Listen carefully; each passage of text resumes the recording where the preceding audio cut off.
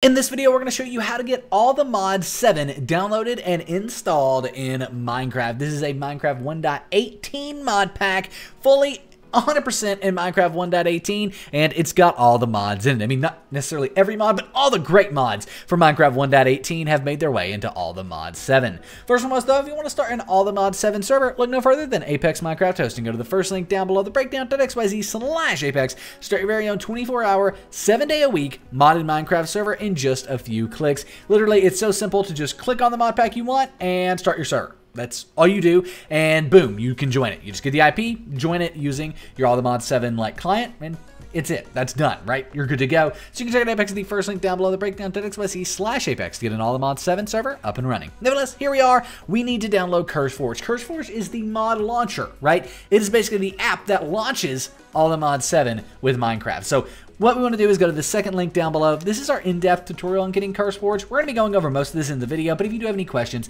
this gives you a complete tour of CurseForge once you're in it. Nevertheless, click on the yellow download CurseForge button to be taken here, where we want to click on the download for Windows button. When we click on that, the download will begin in the bottom left, right like so. We can minimize our browser, and we need to move this to our desktop. Do that by going to your downloads folder, click the little Windows icon in the top left of my screen, probably in the bottom left of your screen, or in the center of your screen on Windows 11. Type in downloads, and here it is, downloads file folder, and in there is CurseForge. Drag this to your desktop just for ease of use. Go ahead and double click on this CurseForge installer, and it's gonna open up, and you can install this just like any other program. You literally just click next, and uh, then do you wanna create this? Agree to the terms and conditions, and click next again.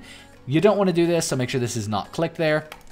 It's just unneeded, really. And then finally, it will install CurseForge, right like so. It will also install something called Overwolf.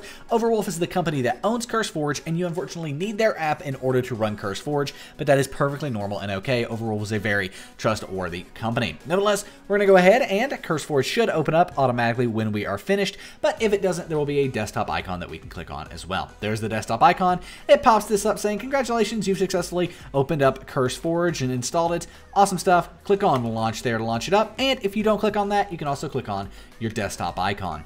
We can delete the installer we downloaded. And now CurseForge is opening up. As you can see, it's preparing for first launch preparing for liftoff, if you will.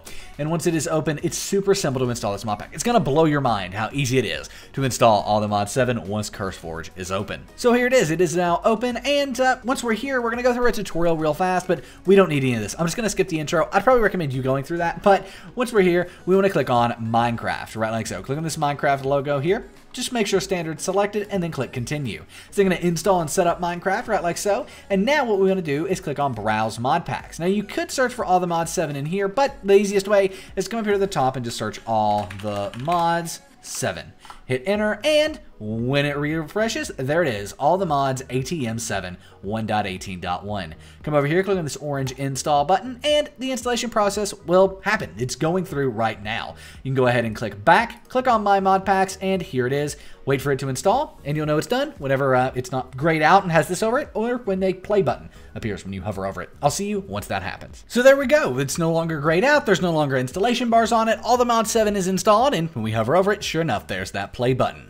Click the orange play button and all the Mod 7 will open up. Now, you will need to log into your Minecraft account, but guess what? That's perfectly fine because once this is installed here, this is updated, you'll notice that this is actually the default Minecraft launcher. This is the Minecraft launcher that everyone is used to using. So once it's open, you just need to log in like you would any other Minecraft launcher. So Microsoft login, I'll meet you once we're logged in. After you log in, you may get a warning like this, and uh, that's okay if you do. Just go ahead and click cancel and you're good. Now, all the Mod 7 is is selected here next to the play button. If it's not, click on installations at the top. Here it is, right? You can hover over it, click play. Might want to make sure modded is checked right like so. But at this point, you're good to go. You can also click here and click edit and change your resolution if you would like, as well as do things like add more RAM. So come in here and add more RAM. You shouldn't really need to do this. Most of the time, mod packs have calculated how much RAM they need, and it'll just be there by default, but that is something you can do.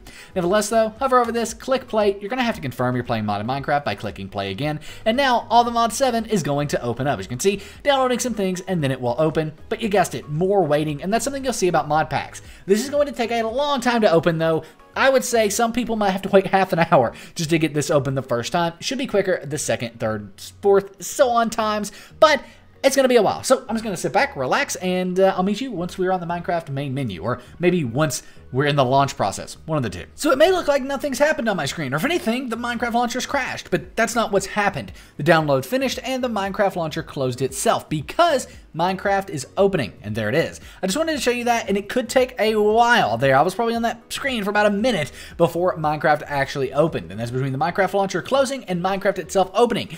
Then we have this white screen, and we're to be on this for quite a while as well. There are over 200 mods in this mod pack, so because of that, it's to take a while to open, right? So you got to sit back, you got to wait, you got to be patient, but there we go. It is now opening.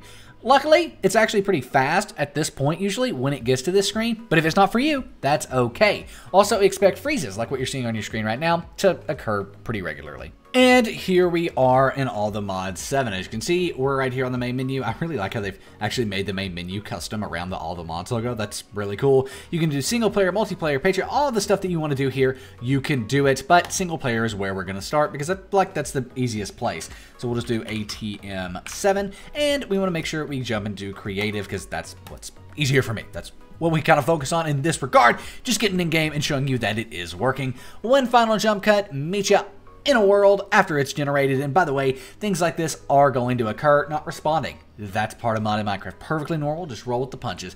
Keep going and playing through it. And uh, even if it were to like crash and something like this, that's okay because you can just restart it and a lot of times the second launch it will work it just kind of needed to work out some bugs and kinks and all that stuff but if you do get stuck on a screen like this just wait it will eventually work itself out as it just did for us so here we are in all the mod 7. Right away, we have this right here, which is an Optic guide. Uh, it's probably spelled that wrong, but that is from one of the mods here. And if we go ahead and hit E, we can see all of the different stuff, over 100 pages in this mod pack. I accidentally closed out of it there because I hit the X instead of the next arrow there, but you know how to get all the mod 7 now we got it in game, we showed you the world, and now we're signing off. Thanks for watching. If you did enjoy how to get all the mod 7 and we helped you out, give the video a thumbs up, subscribe to the channel for more incredible content. I will see you in the next video. I'm out. Peace.